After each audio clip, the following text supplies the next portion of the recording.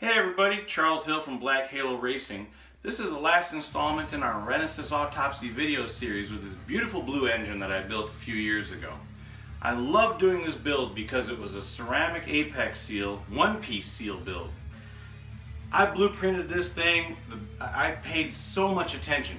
Every little dimension was exact within a half a thousand. I delivered this engine to the customer.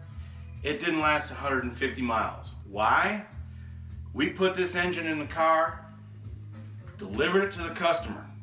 I told him, the final tune hasn't been done yet. Keep your foot out of it because this thing is making mad torque.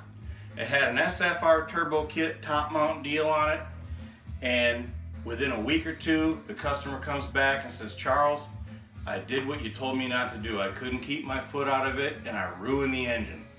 Everything you've seen so far is because of one thing. The customer couldn't keep his foot out of it. He experienced detonation and obliterated the ceramic apex seals. Ceramic apex seals are not impervious to detonation. They actually become shrapnel that grinds the crap out of everything in the engine. That's been the whole point of this video series. It doesn't matter what brand ceramic seals you get. Ceramic is ceramic. It's a hard material.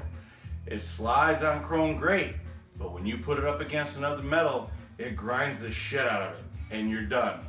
The important thing with ceramic seals is tuning. Tune it right. That's the whole point of this series. You can build an engine as awesome as you want it to be, but if you don't tune it right, it doesn't matter whether you're using OEM seals, Goopy seals, anybody else's seals, NRS seals, Dr. Ianetti seals, you ruin that engine, you ruin that engine.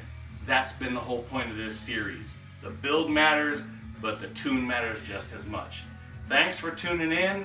In our future series, we're going to feature some products, we're going to feature some other build things, we're going to show you some techniques, we're to show you some things. Please stay tuned, we've got more videos coming. Thanks.